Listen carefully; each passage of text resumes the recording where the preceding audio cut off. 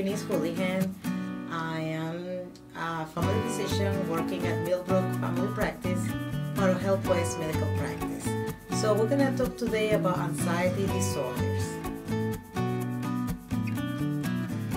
So the first question is, what is anxiety? Anxiety is a common reaction to a threat or uh, danger. Can alert us about something going wrong and prepare us to pay attention to our environment. When anxiety becomes very excessive and start causing either somatic symptoms or behavioral issues like avoidance of situations and circumstances, it becomes a mental health problem. Anxiety comprises an umbrella of different disorders, so we're going to explain the most common ones. The most common one is the one called generalized anxiety disorder, is what the people know as anxiety. And usually uh, it happens earlier in life, and it's an excessive worry about, excessive worry or excessive anxiety about circumstances in our normal life. But that become persistent almost with daily symptoms for at least six months. People with general anxiety disorder usually start having an impact in their social life, in their work, or in the school performance. So that's when they start looking for help. Agoraphobia is an intense fear to different circumstances. One of them could be being alone, another one could be in a crowd or being in a line, like in a supermarket, or being in an open space, like we go and see the ocean, being in a public transportation, or being in an enclosed space. So these people, when they are in that circumstance, the fears prevent them to go to any of those places or stay in those circumstances. Panic disorders are people who have recurrent and unexpected episodes of intense fear, having somatic symptoms, the is out of the proportion to the circumstances. Most of the symptoms that the person experiences are chest pain, shortness of breath, numbness, tingling, feeling of paralysis, or feeling like they are outside their own body or they are in a dream. These symptoms last sometimes minutes or hours. Also, feel symptoms of choking or shaking or trembling can be symptoms of a panic attack, and there is no organic cause causing these symptoms. The social anxiety disorder is people who has an intense fear of anxiety too big with social interactions or performance, as like when they have to do a presentation or they have to sing, they cannot do it. The phobia-related disorder is another kind of anxiety, and this kind of anxiety is also causing an intense fear to circumstances that is out of proportion to the circumstance, but it's specific for that person.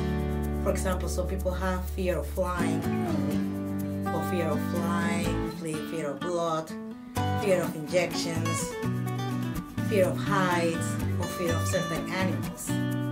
But the fear is excessive, and most of the time it's only to a specific trigger that causes the fear or causes the symptoms.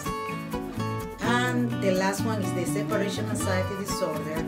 That is the anxiety or worry that the person may have when they feel that they're gonna lose the contact with the person that they're attached to.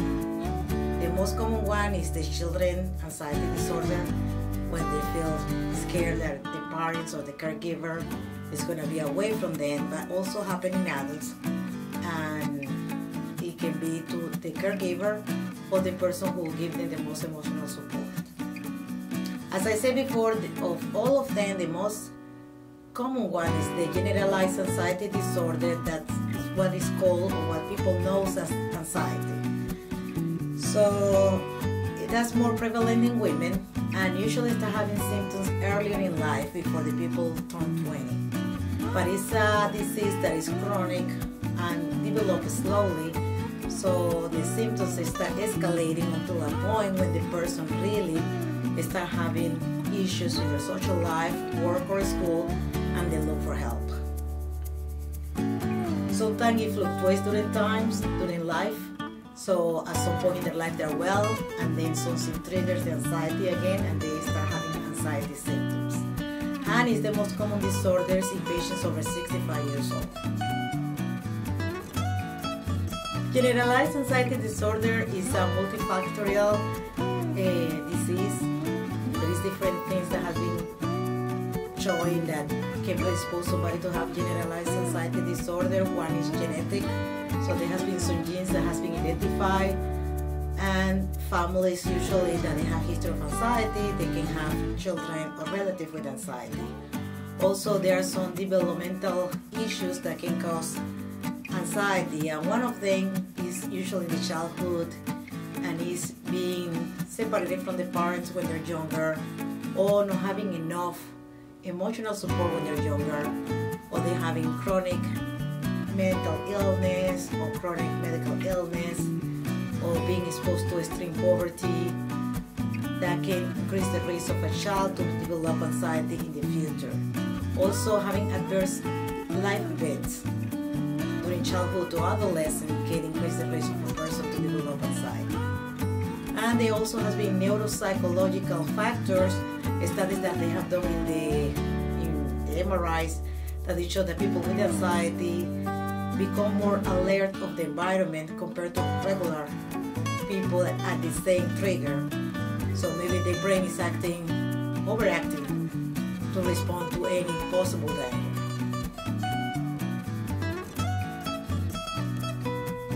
The person that have generalized anxiety disorder may experience panic attacks, but not necessarily, and can be associated with depression and obsessive compulsive disorder.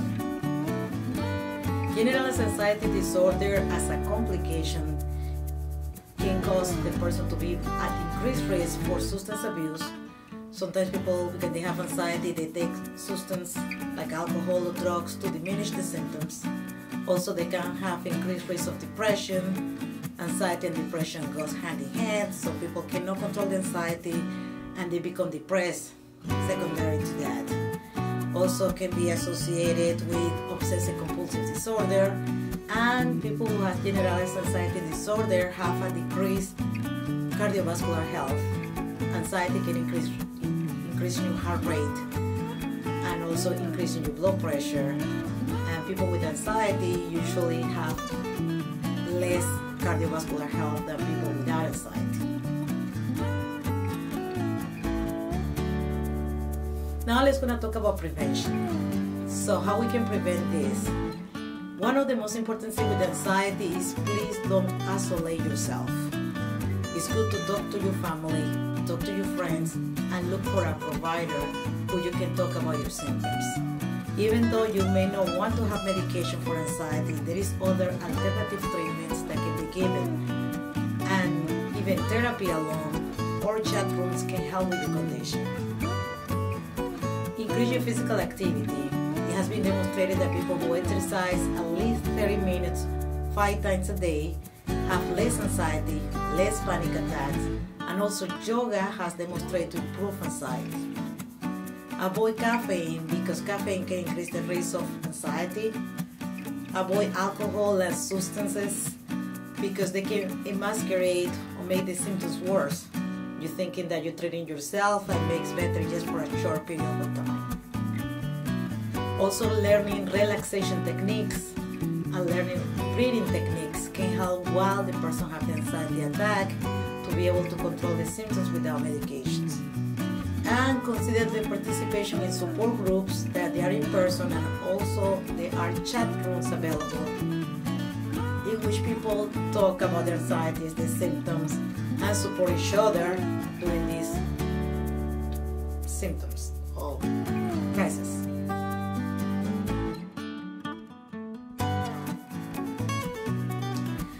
Let's gonna talk now about the symptoms of anxiety.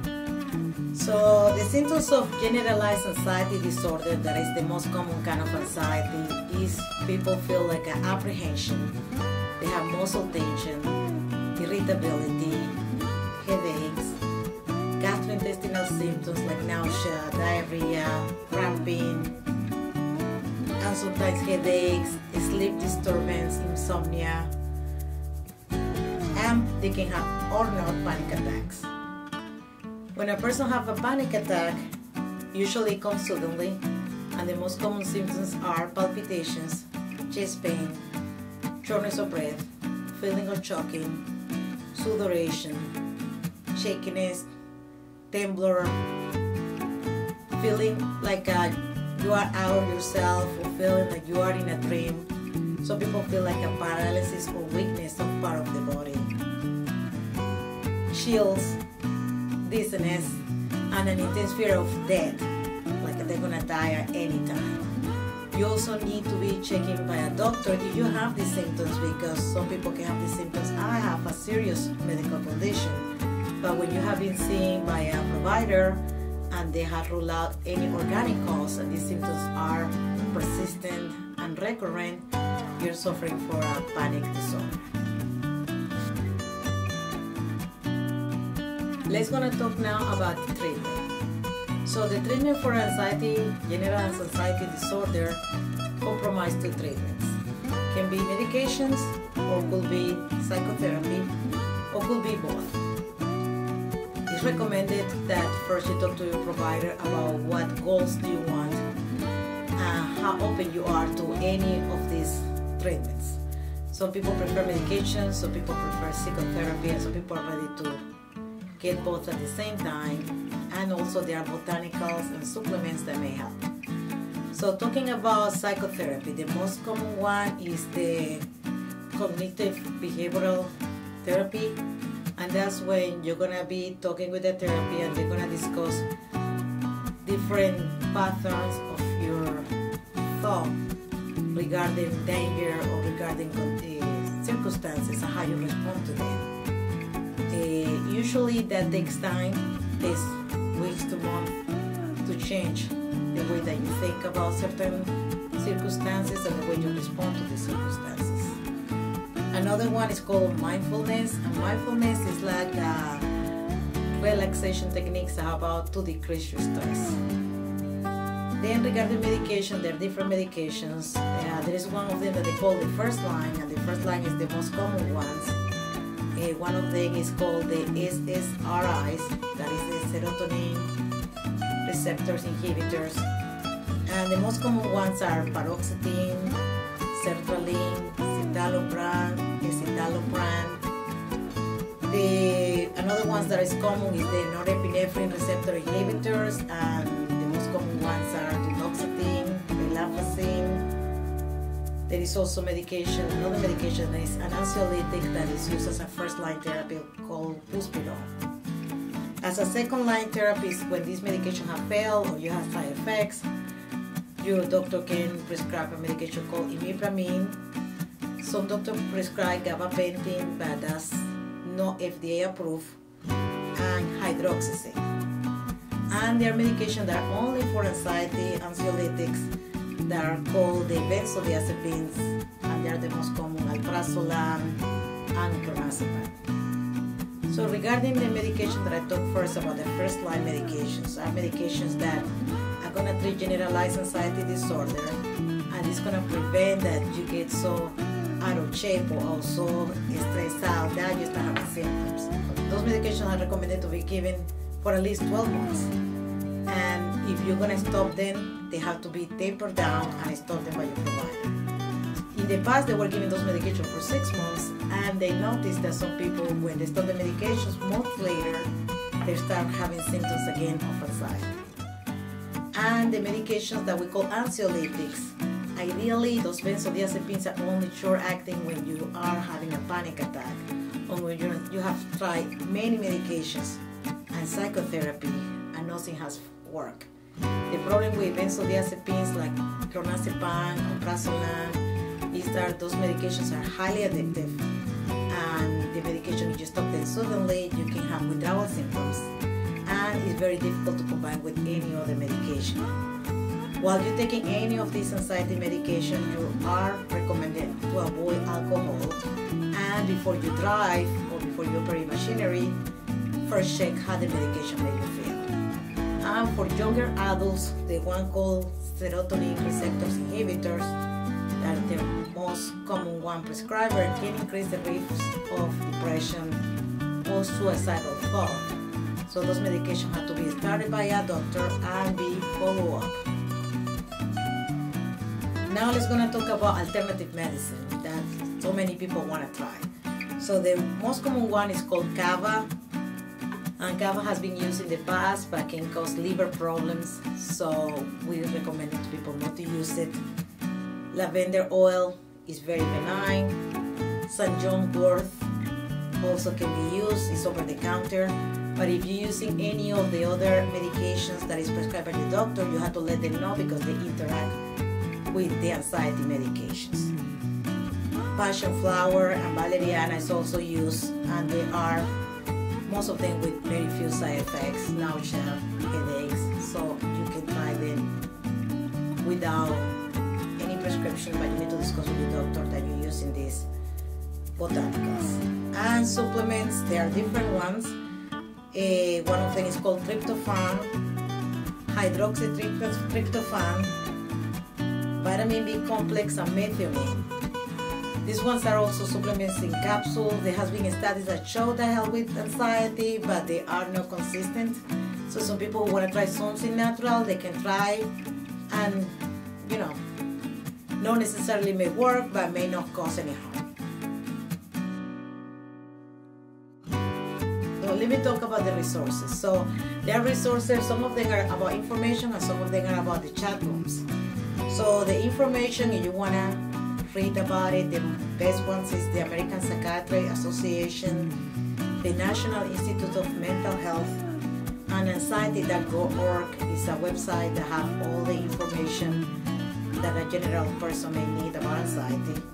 And there's chats that they are in English, and the chat is the helpfulchat.org and the anxiety, panic support.com chat those chats uh, you can interact with therapists. Some of them you can get a therapy online.